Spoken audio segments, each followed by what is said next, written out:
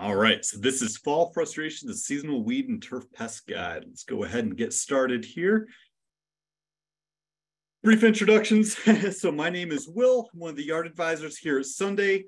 I got my Bachelor's of Science in Environmental and Sustainability Sciences from Cornell University and spent my summers uh, in between high school and then after college uh, working on a small vegetable farm. So excited to be able to chat with you all about lawns and we'll be discussing, or I'll specifically be uh, chatting about some of the um, turfgrass pests we may see uh, and uh, provide a brief overview of repair while Ivana's going to be chatting a bit more about weed control and she's our weed expert. So I'll pass it over to her. hey, y'all, my name is Ivana. I am from Texas. I was, I got my bachelor's of science at Texas State University, um, majoring in horticulture. Um, I've been a professional landscaper, mostly on the growing plant side, but I've done a lot of planting and maintaining um, various landscape plants and grasses as well. Um, so I'll be here to chat about more plants, just the ones you don't want instead of the ones you want.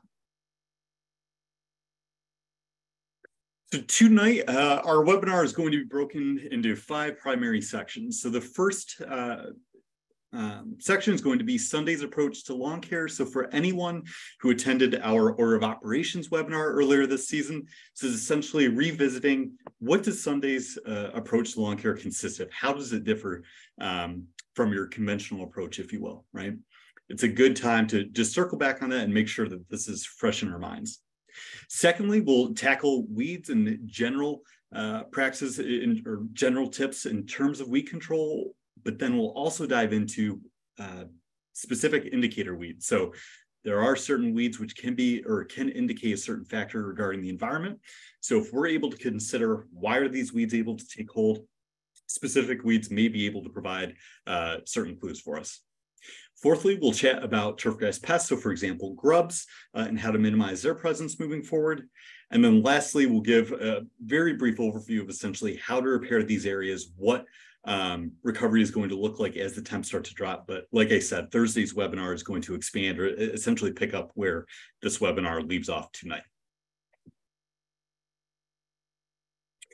So circling back to Sunday's approach to lawn care. Um, so during the order of operations webinar, we essentially broke this down into the first step uh, Sunday always focuses on is essentially considering the environment, right? So if we were to break lawn care into three separate practices, if you will, or three separate factors. Um, they would be prioritizing cultural practices, fertilizing, and then spot treating weeds as needed, right? And so this is different from your conventional approach of potentially uh, relying upon fertilizers being one of your primary factors or um, a pre-emergent herbicide, for example. I know that we had a significant number of questions come through as part of the registration process asking um, how to control weeds, how do we prevent weeds, uh, if we are moving away from a pre-emergent, what the best practices are. So um, that is a key factor to keep in mind that Sunday, and Ivana, I'm stealing a bit of your spotlight here. So um, Sunday does take an IPM or integrated pest management approach to, to weed control. So essentially, if we're looking to modify the environment to prevent the weeds from appearing while also maximizing grass growth, essentially tackling both at the same time, that's our, our focus. But Ivana is going to expand upon it much better than I will.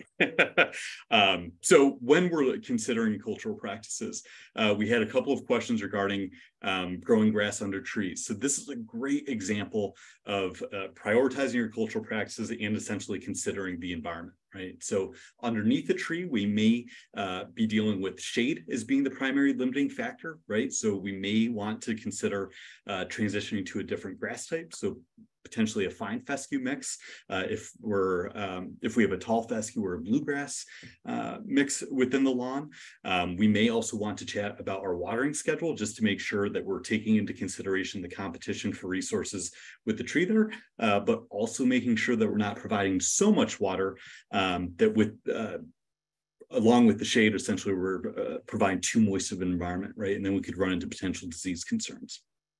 So the first step we have here from a cultural perspective um, or cultural practices perspective is maintaining that turf density. So considering why the grass may start to thin out or may not be taking in some areas. So uh, too much shade, too much sun exposure, uh, too much water, too little water. Uh, too much water, we could start to run into disease concerns. Too little, we could be uh, starting to see drought stress.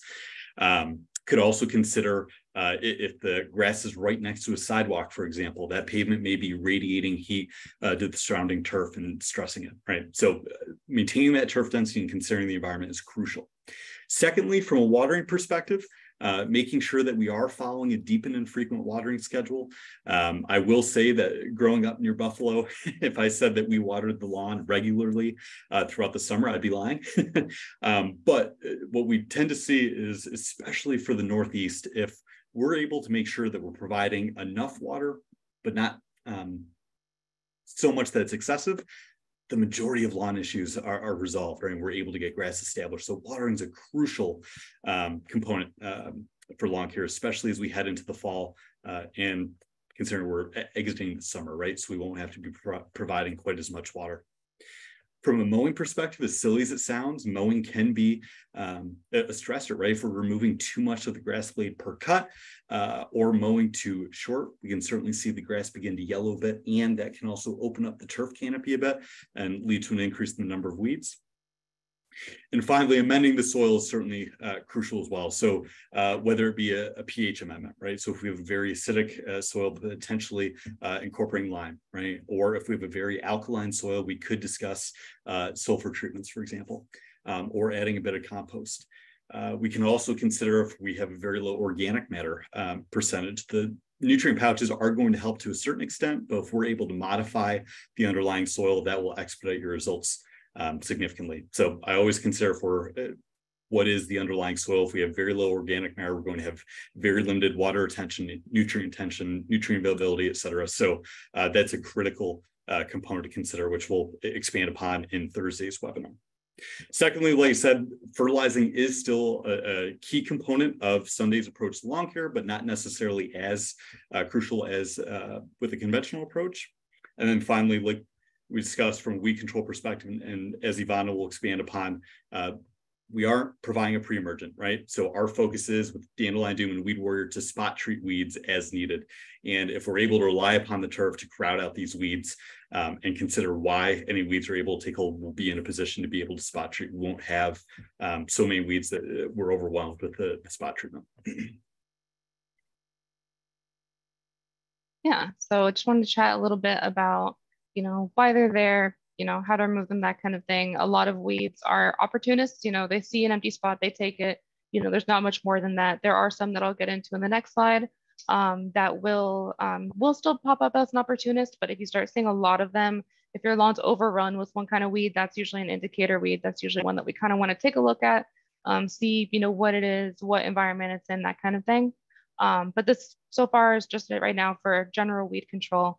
Um, so like Will mentioned earlier, following an IPM approach to weeds, and that's just making sure, you know, you're taking stock of your lawn, um, removing them physically if you can. I know it, it sucks, you know, but a lot of times it's gonna be the fastest, easiest, best way to get them out of there.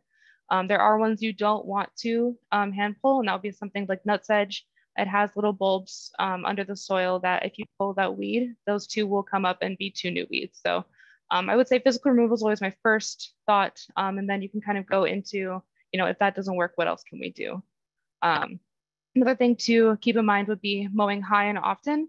Um, this comes with a little bit of an asterisk because some grasses don't like to be mowed as high, um, but for the purposes of, for now, you know, with only cool season grasses, um, mowing high is generally a lot healthier for your grass um, just because it helps it retain water, retain nutrients, protect that soil, um, protect the grass canopy a little bit. Um, it helps with avoiding erosion and evaporation from the soil as well um, but with the added benefit of crowding out a lot of different weeds. So there's some weeds that lie very low, um, and that can be kind of an indication that you're mowing too, too low if you start to see those. So something like a spurge, um, a lot of times clover, um, if you mow a little bit higher, those guys will kind of recede a little bit um, just because they're not getting all of the sun that they need. Um, another thing would be as you're mowing, if you're having a lot of weeds flowering, you know, if you see some chickweed in that middle picture, it's got those flowers. The clover on the left also has flowers. Anything with a flower or a seed head, um, if you see those in your lawn, I would recommend bagging your clippings as you mow. And that would just be to take out any of those seeds, keep them from germinating in your lawn. Um, some weeds will spread just by propagation or asexual propagation, meaning if you just throw a piece of it somewhere, it'll start to grow. Um, so it'll also prevent that as well. It'll prevent that spread um, from the mowing. So you can just dispose those clippings afterward. You can compost them, but just removing them from your lawn um, will be helpful in just keeping them from coming back. The next thing, and this kind of goes into the density and the height of your grass, would be to improve um, the grass density there. So overseeding regularly, I would say at least once a year until you get most of those weeds under control is going to be one of the best ways um, to keep your lawn weed free going into you know future seasons. So I would say this fall should be a great time to overseed. I know this spring was not a great time to overseed. So if you didn't get a lot of good germination this year, um, that's just because the weather was not right, basically. Um, so I would focus on a heavy overseed this uh, this fall. If you don't know your grass type, um, cool season grasses do mix very well, but if you want a specific grass, if you want your grass to be homogeneous, um, feel free to send us a picture. I know there's some apps out there for IDing, that kind of thing, um, but I would just make sure to get some seed down in the fall. Um, seeding in the fall also helps because it will um, prevent a lot of spring weeds from coming up. So you'll start to see a lot of things coming up in the spring. You can improve, you know, your chances of not having to deal with them by just a heavy overseed in the fall. The next would be to fertilize appropriately. So that would just be making sure you're not giving your lawn too much fertilizer because that will actually weaken your grass over time um, and allow kind of a long bendy sort of growth that allows for more weed growth. Um, it would also help a lot of weeds come up um, that might be feeding on the excess nutrients there. Um, but on the other side, you know, making sure you are giving your lawn something. So some soils aren't um, fertile enough to really sustain your grass as well as it would like. Um, so that's when a lot of clover will come in. Clover really likes lawns that are a little bit lower in nitrogen. Um, so just making sure that you're giving it something, you know, your grass does need a little bit of a boost. Uh, so just making sure a little bit of a schedule um, will help keep some of those weeds that really enjoy um, less nutrient dense conditions. Something like a spurge as well really likes um, soils that don't have a lot of nutrients in them. And of course, the last part would be um, spot treating. So you're doing all these practices, you know, you're maintaining your lawn. It is kind of an uphill battle. So if you've got a very weedy lawn, you know, this will take a little bit. Um, but once you've done all of these, as you're continuing to do these, um, spot treating with an herbicide will be really helpful. I like to do this um, right after mowing because the weeds are already damaged. Um, and usually, you know, with weeds like chickweed here and clover, dandelions, that kind of thing, um, you can use our selective herbicide, Dandelion Doom. That is a broadleaf herbicide. It will only harm broadleaf weeds. It won't harm your grass. Um, if you have a lot of grassy weeds like crabgrass or quackgrass, that kind of thing, um, you can use our Weed Warrior uh, just know that it will also damage your turf grass. So that's something that I really only suggest using um, if you're planning on overseeding soon after. So temperatures are starting to be a little bit nicer, you know, for Will, it's getting kind of seeding time. Um, I would go ahead and if you wanted to use that weed warrior on those grassy weeds, just know it will harm the turf grass around it. Um, but then right after that, you know, a week or two, follow up with a heavy overseed um, and that will prevent anything else from growing in its stead.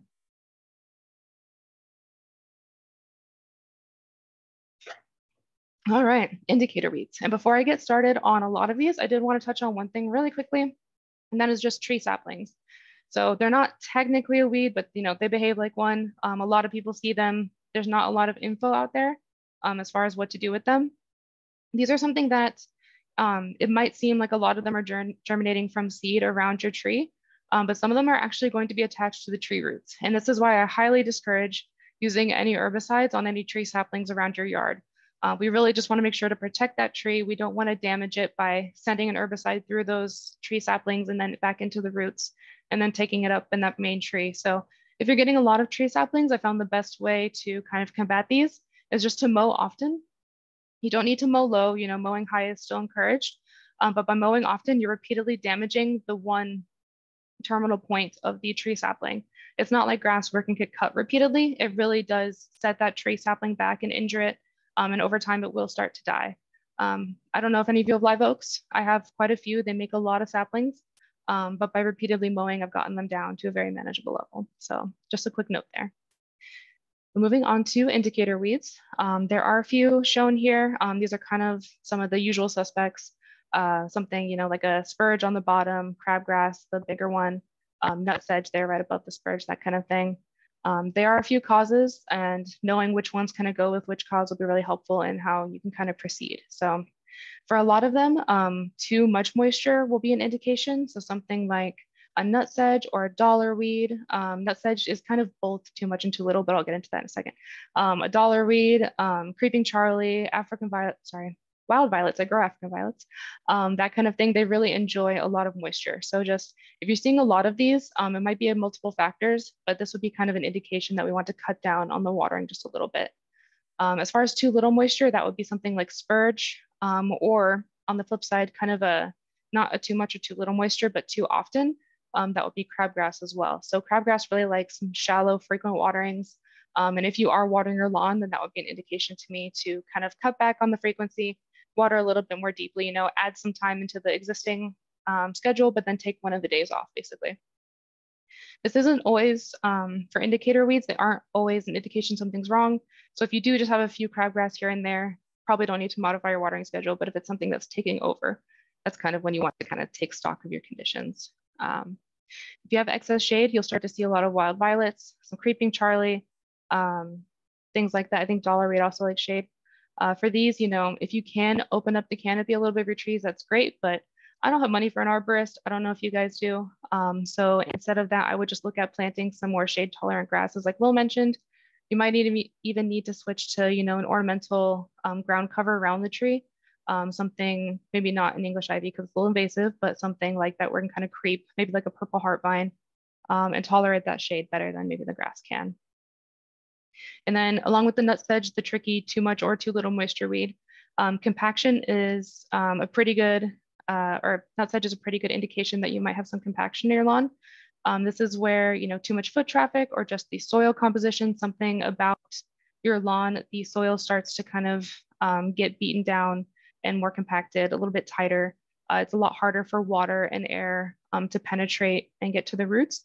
Nutsedge really likes a compact soil. So if you're starting to see a ton of nutsedge, um, especially if you see it in one general area, uh, Reno, the nutsedge is the one straight in the middle. Um, it's with the kind of yellowy things poking out, kind of like a firework. Um, that's the flower. Um, and you'll see it in your lawn because it's very glossy. Um, it kind of sticks out like a store thumb. It's very like glossy, taller grass um, growing out of the middle of your, of your lawn there. Um, but yeah, it really enjoys compacted soils. It likes having that tight texture there. So that's always an indication um, that you just want to maybe aerate if you can, uh, maybe halt foot traffic there for just a little bit. Um, but aeration is probably going to be the best way to break up that soil. Keep a little bit more open, keep that nutsedge from coming back. And yeah, so I mentioned the nutsedge. Spurge, you know, it really enjoys drier, hotter, um, less nutrient rich conditions. So if I see a lot of spurge, that's an indication to me that we need to change up our watering a little bit and probably add a little bit of organic matter to the soil as well. Uh, so for spurge, that would either indicate that we need to water a little bit more deeply um, or we need to add an extra watering um, time onto our system. So, you know, you might increase the watering time first, and then if it looks like it's still, you know, a huge issue and you've done everything else, then you can add another day on. Um, but usually for spurge, my main goal is to amend the soil a little bit because that's going to be the best way to keep it from coming back. Um, so top dressing, uh, either in fall or spring, is going to be my favorite thing to do. I mean, it's my favorite thing anyway, um, but it is going to help kind of control that crazy amount of spurge you're getting. Um, you can do this uh, right before seeding. It's actually really great to pair top dressing with overseeding, but we'll touch on that um, in a little bit as well. Um, and then the last thing was spurge. I would say my favorite thing to do was spurge is to hand pull it. Um, I had to pull it a lot when I worked in a nursery, so it's kind of just something I enjoy doing, but I would say wear gloves um, if you're going to be pulling spurge because it's possible um, that it will irritate your skin. So like I mentioned, you know, address your soil issues if it's something that needs to be addressed. You know, if you've got a lot of compaction, aerate. Um, if you've got a little bit of organic matter, you need more, you know, and go and top dress. Um, if you've got a too high or too low pH, that could be, you know, an issue. So like Will mentioned, adding gypsum or sulfur, um, making sure we establish healthy watering practices. So adding a watering if we're seeing a lot of, you know, um, spurge or crabgrass, um, and then watering a bit more deeply if we need to as well. Um, fertilizing on a schedule will be really helpful to kind of give your grass a timeline, let it know that it doesn't need to be stressed because more stuff is coming and it'll help keep some other weeds at bay. Um, and then limiting shade if you can. Again, it's always kind of a hard one to deal with, um, but if you can limit some shade, that would be helpful. I see we have a question. I'm gonna take a quick drink. Right. And Ivana, I'll uh, jump in here for just a second as well.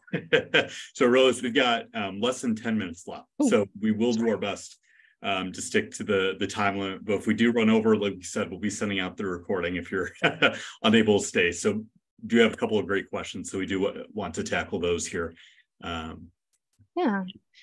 So I see that we have a question about if our clover is good or bad for tall fescue and does dandelion doom help kill it? So dandelion doom does help kill clover. Um, if it's a large patch, you might need to repeat applications because a lot of times it gets really situated where it is um, and doesn't really want to leave. Um, I will say that clover, it kind of depends on what you're looking for. Um, I would say that clover is great for tall fescue because it adds nitrogen to the soil. Um, it helps actually change nitrogen from something that the plants can't take up to something they can. So it does benefit tall fescue in that way. I think it's cute. Um, but if you don't like, you know, the look of the two, if you just want a gone, dandelion doom can help you out with that. Um, and then as far as the best way to tackle weeds in flower beds, um, it does depend on what you're growing there. It's a little bit difficult to recommend spraying anything since a lot of ornamental plants are broadleaf plants. Um, but I will say the best way, if you are going to be spraying any sort of herbicide, is just to grab a strip of cardboard, um, hold it, you know, over the area you're spraying to protect all of the plants around it from overspray. Um, and you can do that, you know, with um, Weed Warrior or Dandelion Doom.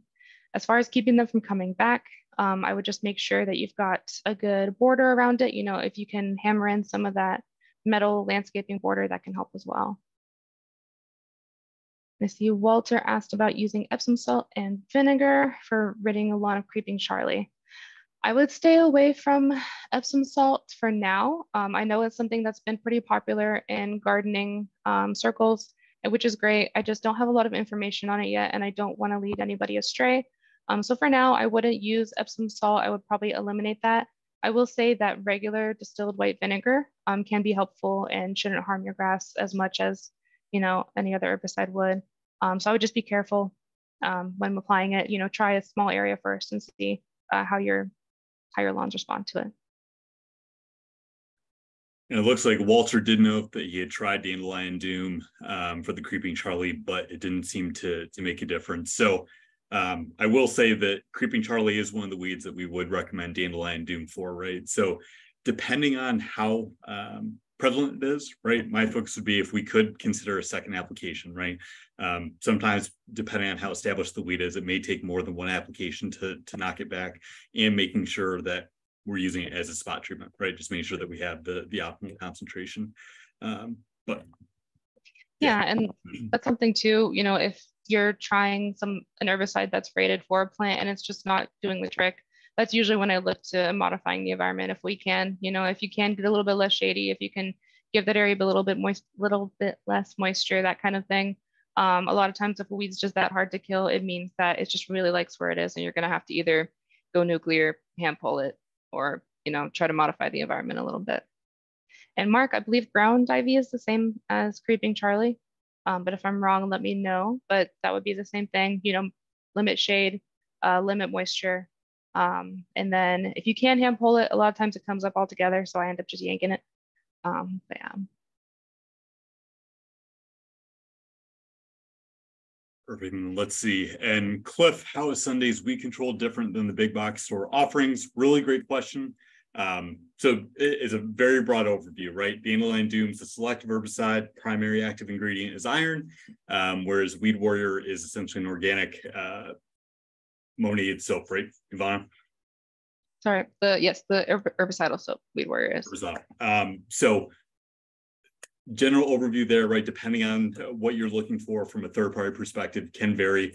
Uh, I will say also that one of the key differences is that there isn't a pre-emergent included with Sunday's herbicides, right? So there's nothing uh, being included to actively inhibit seed germination. That's why there's such a heavy emphasis on um, seeing law and maintaining that turf density. And then I see that Abhimanyu had another question um, about some weeds. They have a lot growing on the sidewalk because of a lot of heat reflection. Um, I will say for those areas that are a little bit smaller that get a lot of that radiant heat, um, you will just have to baby them a little bit more. So just going out there, maybe adding an additional hand watering, making sure you're watering more deeply, um, adding a little bit more compost if you can, that kind of thing. Um, and that will kind of help just sweeten the area a lot more to make it a little bit easier um, to, to make it a good place to grow grass.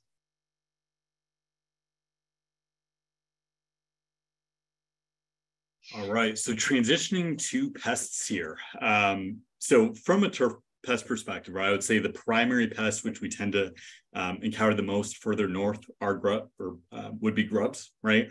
Uh, there certainly are other pests we would consider. So, for example, um, armyworms, uh, sod webworms, but typically a little less common than we would expect uh, for further south, right? And similarly, chinch bugs, while certainly possible further north, typically uh, a more common pest further south. So um, from a turf pest perspective, I would really prioritize or really place a heavy emphasis on grubs.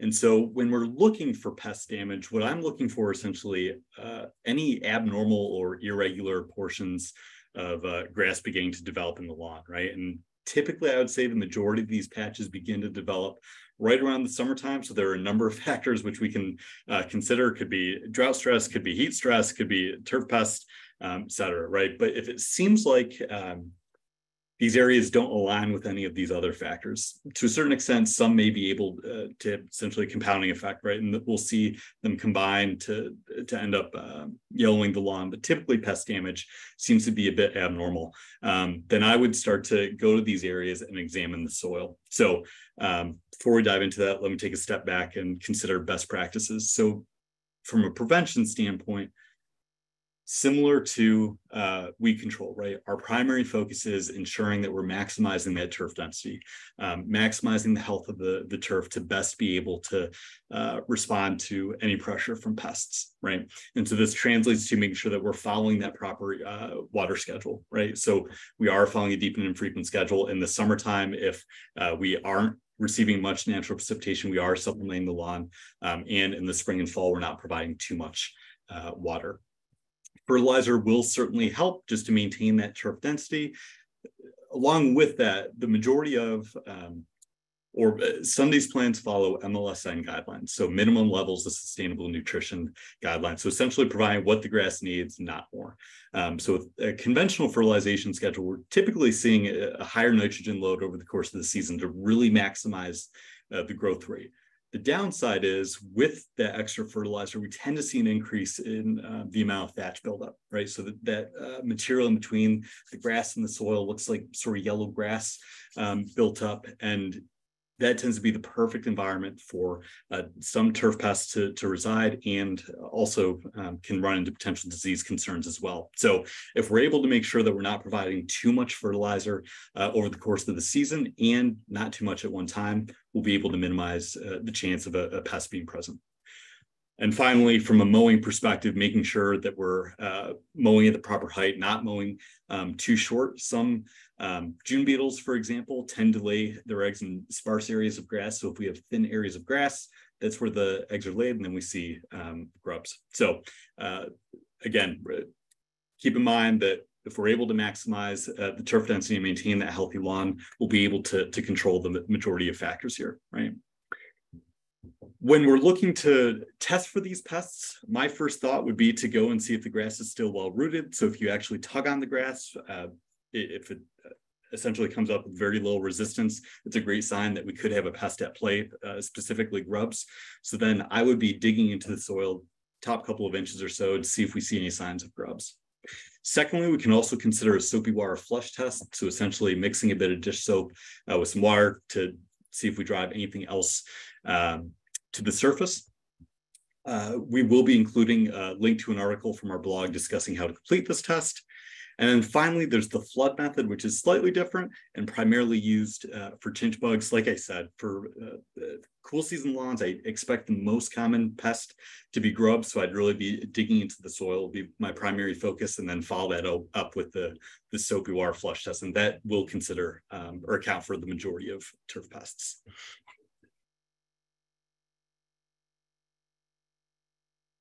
And then finally, from a repair perspective, like we said, we'll expand upon this in Thursday's webinar. But uh, as we get to this point in the season, right, right now it's still a little bit earlier for the majority of the country, I would say, to, to be looking to repair the lawn. Uh, but as the temps start to drop, I would say consistently below roughly 80 degrees or so during the day. Um, preferably, I would say in that 70 to 75 degree range or so during the day would be great if we had those temps for the following several weeks um, we can then consider getting grass seed down. So I would look to um, mow while bagging your clippings to contain a viable seed for right now, right? Then once the temps start to drop, we can spot treat as many of the desired weeds, uh, hand pull or dig out as many of the remaining weeds as, as, desired, and then get some grass seed down, right? So when doing so, we'll prep the soil to make sure uh, that we're providing the optimal environment for the grass, considering why uh, this area needs to be reseeded, um, making sure that we're auditing the irrigation system is critical as well, just to make sure we're able to follow a short and frequent watering schedule when uh, we're seeding. So different from our watering recommendations for an established lawn, right? We want uh, those grass roots aren't established yet, so we want to maintain that moist uh, environment while the seed is germinating. Um, in terms of actually repairing the areas, like we said, we'll expand upon this a bit more on Thursday's webinar, but remove any of that dead grass, loosen the soil up a bit so we can scuff the soil uh, a bit and then add a little bit of topsoil on top of the seed, maybe a quarter of an inch thick or so, just to help increase moisture retention, keep that seed in place, and also to try to keep some of the birds and other animals away. And finally, again, uh, uh as we noted with the weeds and the pests, I'm sure you're all sick of hearing this at this point, maintain that healthy space, right? If we're able to maintain that healthy lawn, make sure we stay on top of maintaining that turf density, we're going to be setting the lawn up for success in the long term. Well, y'all, it's been an honor having you guys here. Um, you know, if you want some more additional information, if there's anything that you just kind of want to read about, um, our blog, The Shed, has a lot of great resources. Again, we'll be sending some of those to you in the follow-up email um, but it's there to just kind of help you with any questions you might have. Um, if you watch these, if you don't get your question answered from the shed or here, you know, feel free to reach out to us at webinars that get Sunday. We'd be happy to chat with you, you know, figure out what's going on in your lawn. Um, and we do have all of these webinars listed on our YouTube channel. Um, there is a playlist specifically for the webinar. So if you just feel like sitting down on Saturday night and marathoning our faces, go right ahead. We'll be there to help you out. With that, I hope you all have a great rest of your day. I'm happy to chat with you. Perfect. All right. Have a great night, everybody. Hope we so see you on Thursday. Take care. Take care, y'all.